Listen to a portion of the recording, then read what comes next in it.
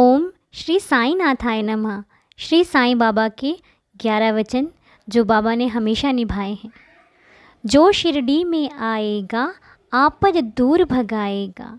चढ़े समाधि की सीढ़ी पर, पैर तले दुख की पीढ़ी पर।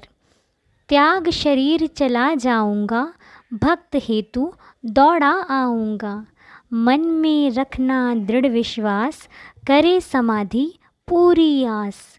मुझे सदा जीवित ही जानो, अनुभव करो, सत्य पहचानो। मेरी शरण आ खाली जाए, हो तो कोई मुझे बताए। जैसा भाव रहा जिस जन का, वैसा रूप हुआ मेरे मन का। भार तुम्हारा मुझ पर होगा, वचन न मेरा झूठा होगा।